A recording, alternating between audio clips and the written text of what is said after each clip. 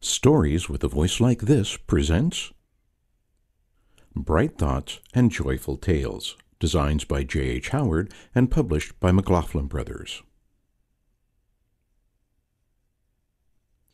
Fanny Fanny has been up with the lark and out in the fields gathering a nosegay of wild flowers, and has brought them home all bright with the morning dew, and laid them upon her mother's lap, her sweet face beaming with health and pleasure. Fanny is an only child, and much petted, but she is not a spoiled child, and nothing would hurt her kind little heart more than to be called by that name. She lives in a nice house with papa and mamma, and papa, who is very fond of her, will chase her round the garden at times, or carry her on his shoulders. In short, do everything he can to make her happy. And Fanny knows how much she pleases her parents by being good. Robert Robert was a clever boy at school. His teachers were very fond of him, and took great delight in getting him on with his lessons. His mamma had no trouble with him, for he would go into his room with his favorite, Rover, and learn his lessons without a murmur. He was very anxious to know about everything, and often puzzled his mamma by asking more questions than she could answer.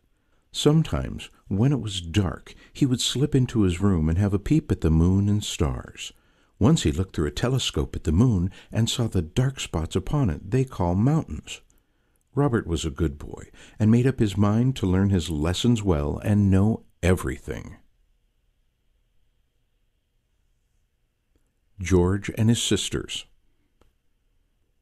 There was an old widow who dwelt in a cottage not far from the home where George and his sisters lived. George had heard his mamma say how poor the widow was, and that often in the winter time she could not even afford herself a fire. This made George very sad, and one cold winter's morning, when he and his sisters were about to take their usual walk, he begged leave to take his wheelbarrow with him.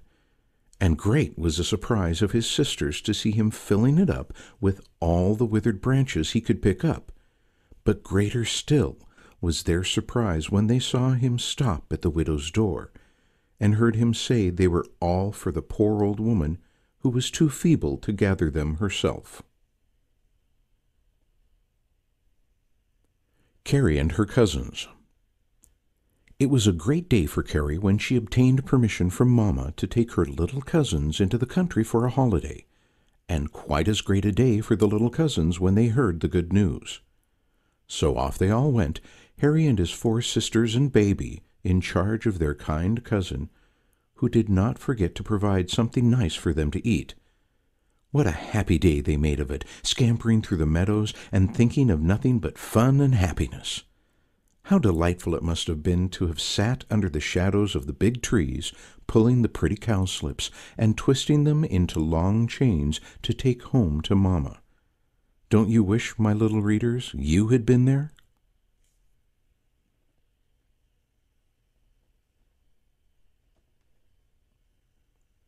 Ned and Nora.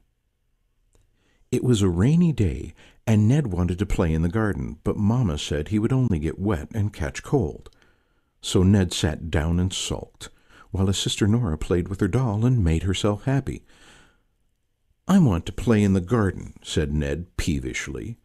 I hate sticking in the room all day. It isn't right of Mamma to keep me here. Oh, Ned, oh, Ned, cried Nora, taking his hand.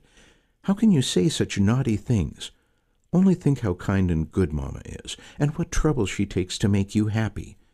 I am glad to see you crying, Ned, for I know you are sorry for what you have said. Ned was sorry, and begged Mamma to forgive him. He said he would try and be a good boy and not sulk any more.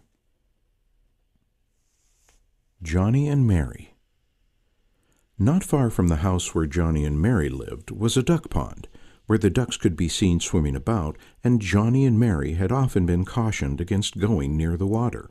But one day, when Mamma was busy, Johnny asked Mary to go with him to the pond. He was sure they wouldn't be missed.